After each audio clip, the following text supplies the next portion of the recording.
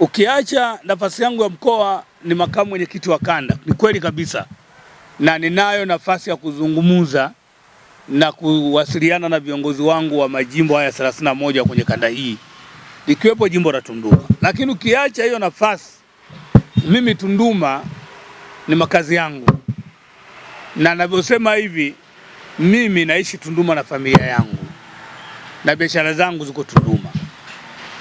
Moja ya kitu ambacho naweza nikasema saa hizi wakati natoka mimi nikitoka pale, kwa sababu ya, ya upandaji wa mafuta, gharama ni kubwa, kama unavyojua maisha ni magumu kwa sasa.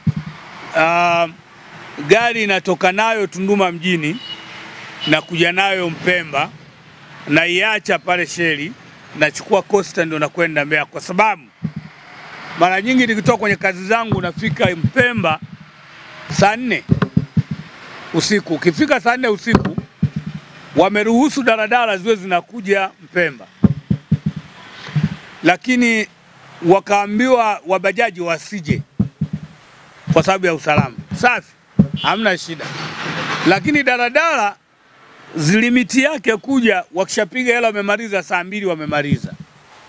Saa hizi tumekwenda ni masika, ukishuka gari umelipa shilingi elfu tano usione ajabu kutoa elfu kumi kwenda Tunduma mjini. Kwa hiyo unaweza ukatoka Mbeya ukajikuta unalipa elfu kumi na tano umelipa ndogo sana ni elfu kumi mpaka umefika Tunduma mjini, nikiwa naimaanisha mpakani.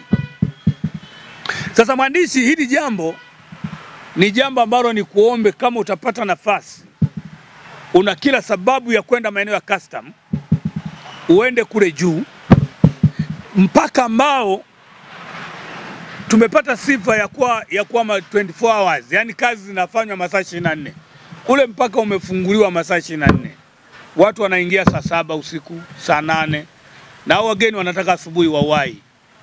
Sijajua baraza hili la madiwani kama madiwani hawa walikuwa wako makini kweli kwa watu wao, sijajua na sijui kama ni maamuzi yao kwamba madiwani ambao wanaamini wanawakilisha watu ndio wamekwenda kuazimia mambo haya. Ninataka niseme hapo kwa kirefu kidogo, ili labda mtu anaweza anaweza kanielewa vizuri.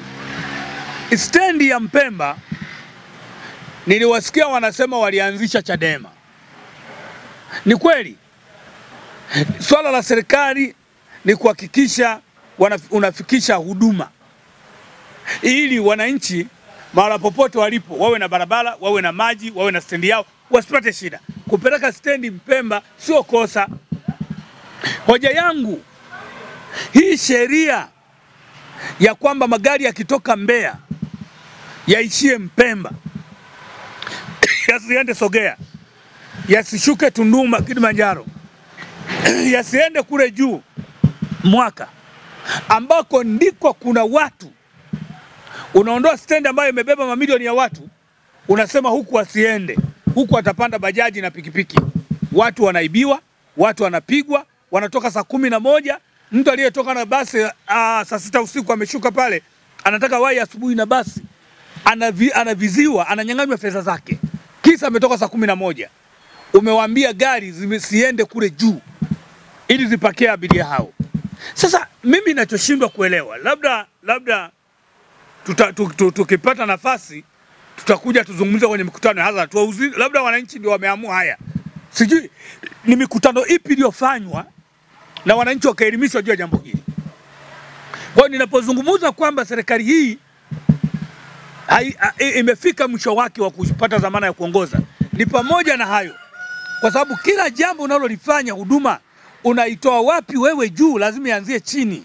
Ni lini walifanya mikutano ya hadhara kwenye mitaa Tunduma wakakubaliana na wananchi kwamba kweli stendi kawe pale?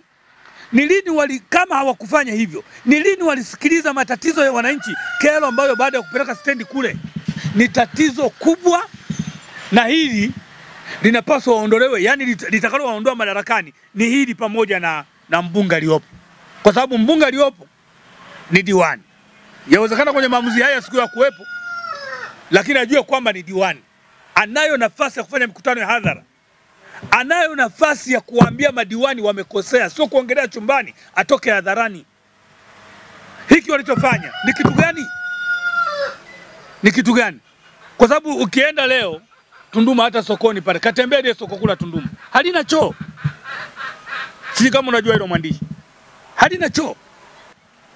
Jana nimetoka kugombana pale na watu, nambia huyu huu ni ujinga huu. Hatuwezi mkaa mnakaa humu mnaacha kufunga soko. Fungeni, mtoe huduma, wacheni kutoa huduma. Mkurugenzi hajajibu hapa, wamekosa choo kwa sababu gani?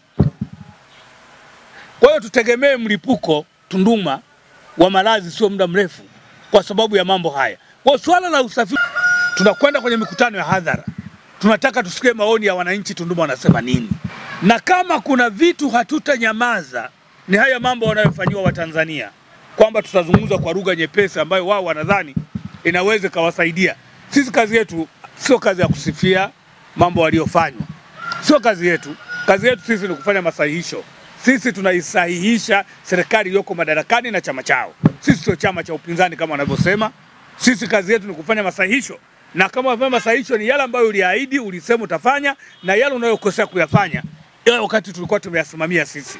Kwa hiyo mimi niseme tu maoni yangu, kuna kila sababu ya Watanzania walioko Tunduma na wanatunduma kusimama kwa pamoja.